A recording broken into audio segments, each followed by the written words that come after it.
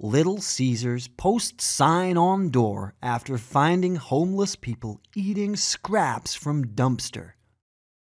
A Little Caesars restaurant in Fargo, North Dakota is capturing hearts and feeding the hungry with a new policy they posted with a sign in their window. A new idea came to the general manager, Michelle Lussier, after she noticed an ongoing problem people were eating leftovers from the store dumpster. Lussier decided to approach the situation with a surprising solution, offering free slices of pizza inside the store. She recognized that the homeless are human beings the same as everybody else and deserve dignity, respect, and compassion. The sign hung on the drive through window reads to the person going through our trash for the next meal. You are a human being and worth more than a meal from a dumpster.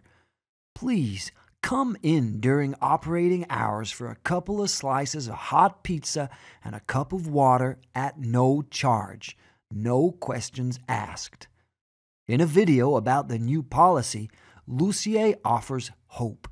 Instead of merely thoughts and prayers, she offers something real delicious pizza. Don't feel embarrassed if you're hungry and you don't want to do what others do. You know, stand on the corner for handouts, says Lussier. You feel down about that. You're more than welcome to come here and grab a couple slices.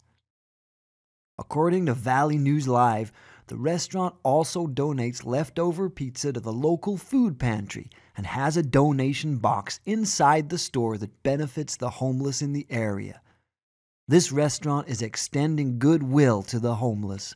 In return, they endear themselves to the local community with some good public relations, earning well deserved customer loyalty.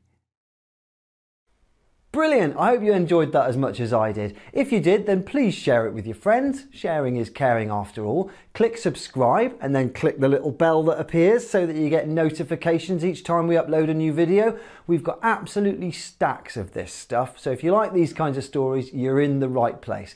Let us hear your comments in the boxes below. Thanks for joining us. See you next time.